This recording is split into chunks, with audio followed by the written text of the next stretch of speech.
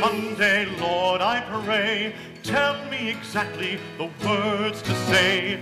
Give me strength, and maybe then I can reach my fellow men, so we all may rise again. Thank you, Lord. Amen.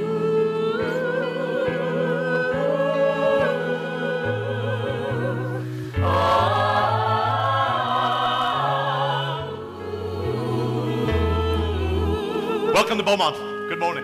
Good morning, Glenn. I took the long way to church this morning down past the old creek. I heard birds chirping and our own choir warming up in the distance. And I was reminded of our great poet Walt Whitman, who once wrote, I hear America singing. And I thought, aren't we the song that we sing? Don't we lift up our voices to tell the world who we are and what we believe? So I ask you this morning, hmm? what song are you singing?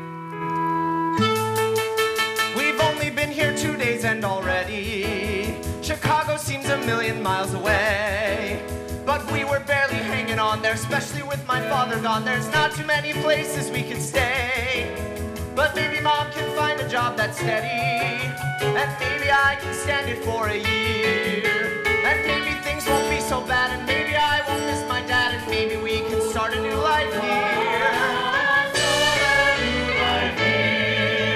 But if Walt Whitman were alive today, what song would he hear America singing?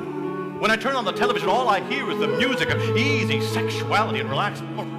I hear rock and roll and the endless chant of pornography. And I ask myself, why does our God allow this? We all know God has the power to take all these records and books and turn them into one big fiery cinder like that.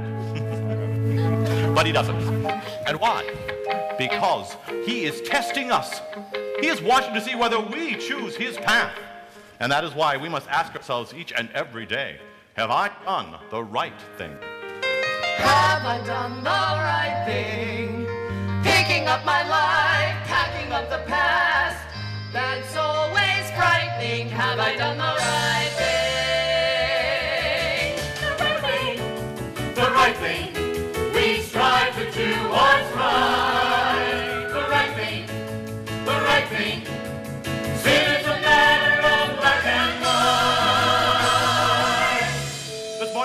two new souls to our parish, all the way from Chicago.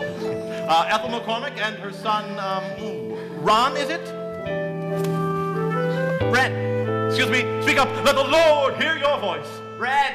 Ren McCormack. Oh, Ren. Now that is a very interesting name. Is that short for something? Nope. There's rumors going round about the new kid, and everybody's talking till they're blue.